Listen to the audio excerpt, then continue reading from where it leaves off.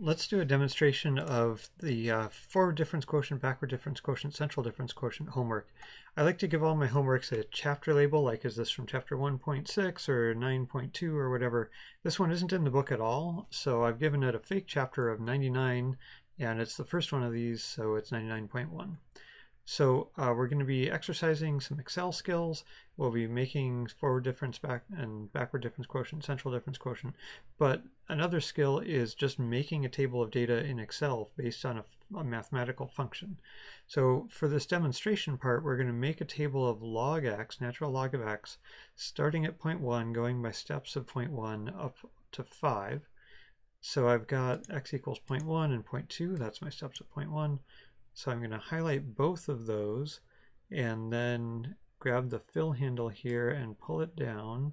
And can you see it's uh, right near my cursor is the number that would be the last number if I let go right now. So that's counting up three, four, five. I want it to be five, so I'm going to stop it there. It doesn't really matter for this homework whether you're exactly on the nose with how far you go, but sometimes it's nice to be precise. Now here I want to say take the log of this number and put it here. And you might think I'd type equals ln of x like that. But if I do that, then hit enter, it says name. I don't know. What, what is this? And it knows what ln is, but it doesn't know what x is. Uh, Excel doesn't really have a sense of a variable name. What I need to do instead of x is say, what cell do I want to get the number from? So here I wanted to get it from this cell, so I just clicked on that cell. You could type the B15 if you want to, but I think it's less error prone to click on the cell itself. So uh, log of a number less than 1 is negative, so I think I did that correctly.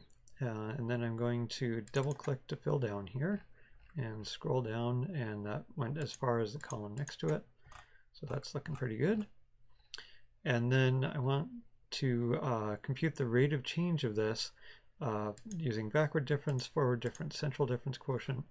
Um, I think in one of the previous videos we started with forward and then we did backward, but here since it, the column labels are already here, I better start by doing backward. Backward, if I tried it here, would start with this row and look backward here and there's no numbers there, so I really can't have anything here.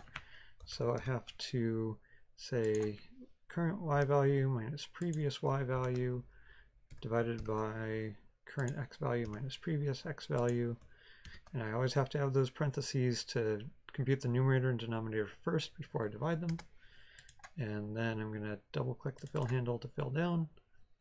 And for difference quotient, I can do next y value minus current y value divided by next x value minus current x value and double click to fill down.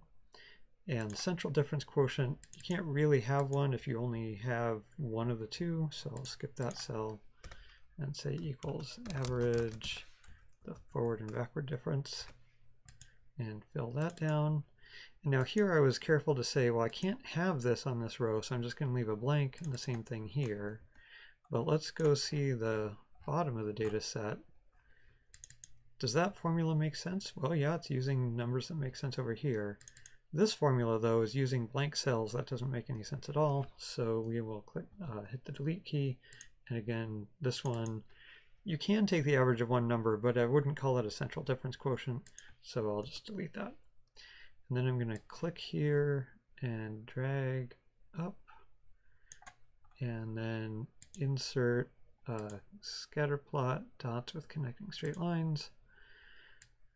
And so here's my curve of natural log. Uh, that looks like the curve of natural log to me, so that's good news. I did that correctly.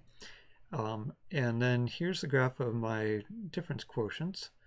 Um, and the uh, remember difference quotients are kind of the slope from one dot to the next. And here the slope is positive and fairly strong. And I've got fairly positive strong values for the difference quotients here. Over here, the slope is positive, but not as strong. Things are still increasing, but not as quickly. And the values I have over here are positive, but not as positive as they were over here. So this is making sense. And then it says, um, what do you notice about the shape of the forward and backward difference plots? Uh, well, these curves are not flat. They're not linear. Are they parabolic? Well, they do decrease, but they don't really show much hint of increasing. Are they sinusoidal? No, I don't see any evidence of a wave there. Are they exponential? Well, they might be exponential decay.